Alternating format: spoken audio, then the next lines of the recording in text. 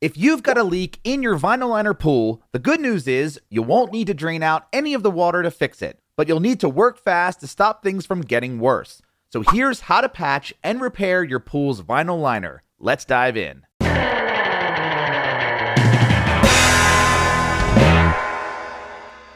Real quick, if you want more help taking care of your pool, be sure to grab our free pool care cheat sheet at swimuniversity.com slash cheat sheet.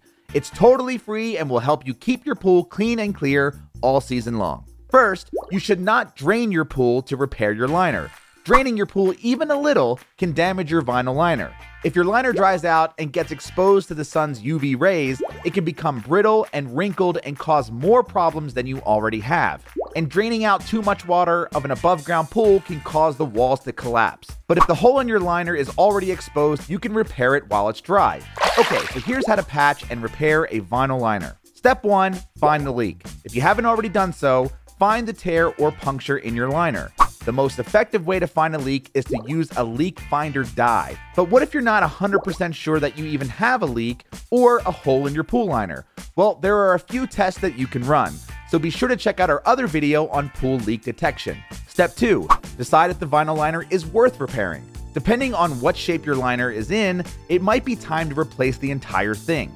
The older your liner, the thinner it will be, and the more likely it will spring leaks in the future. Even a good quality vinyl patch will only hold for a few years. And the bigger the tear, the more likely the patch will snag and peel over time. Also, keep in mind that areas close to the stairs or near your pool's fittings are under more stress, so patches won't hold up as well there.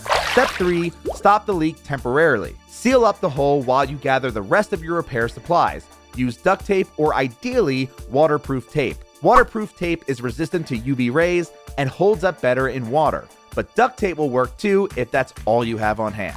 Step 4 Buy a vinyl patch and repair kit. Vinyl repair kits come with large pieces of blue or clear liner and special underwater vinyl adhesive. Peel and stick patches, on the other hand, are pre cut vinyl pieces specifically made for pools.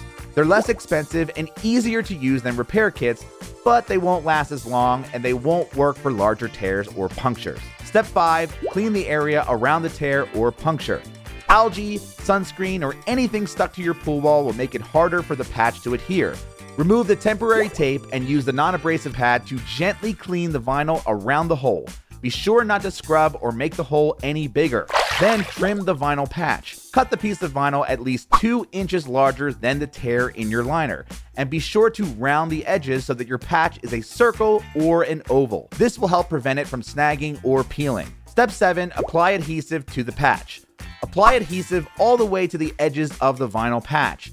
Then fold the patch in half like a taco with the adhesive on the inside. This will make it easier to maneuver underwater. Step 8 Stick on the patch. Depending on where your tear is located, you may need to dive into the pool for this part. And you'll need to hold the patch in place, so you may need goggles and a snorkel. Start by submerging the patch, hold the patch over the hole, and unfold the taco. Place it slowly over the hole while smoothing it onto the pool liner. Press out any air bubbles and hold it in place for two minutes. The adhesive needs time to cure, so don't pull at the patch once it's been placed.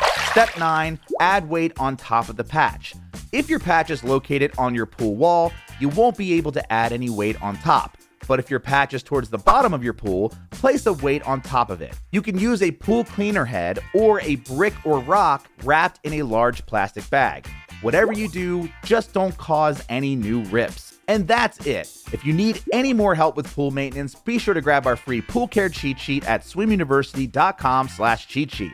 And if you found this video helpful, leave a comment, hit the like button, and subscribe for more pool maintenance tutorials throughout the season.